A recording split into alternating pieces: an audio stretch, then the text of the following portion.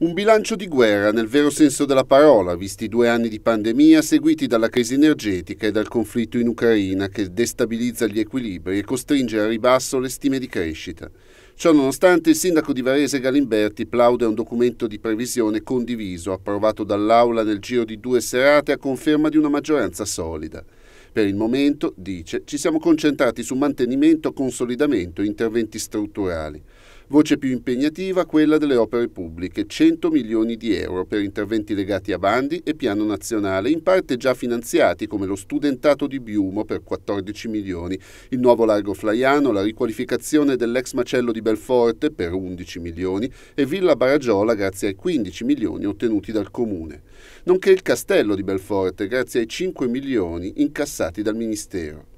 Capitolo scuole 22 milioni di euro per il nuovo polo scolastico di San Fermo e per quello infantile. 6 milioni vanno a servizi educativi, nidi gratis e disabilità. Quasi 10 sono destinati al sociale e al disagio, compresi assegni e sussidi. Commercio, bar e ristoranti potranno tenere gratuitamente sedie e tavolini all'aperto fino alla fine di giugno. L'opposizione aveva chiesto l'estensione della misura fino alla fine di settembre, ma la proposta non è passata.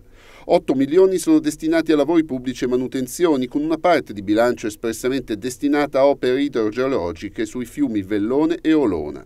L'ambiente potrà contare su una dote di 16 milioni di euro, in gran parte rivolta all'igiene urbana. 600 mila euro sono destinati al capitolo sicurezza, videosorveglianza compresa. Cultura, risorse garantite per i musei civici, la valorizzazione del patrimonio storico e la riapertura al pubblico della torre civica. Sport, 3 milioni per la riqualificazione del palazzetto di Masnago. Altri fondi sono destinati alle palestre di quartiere e al campo di calcinate. Ambizione del momento un centro polisportivo inclusivo, la cui fattibilità però dipende dal Piano Nazionale di Resilienza.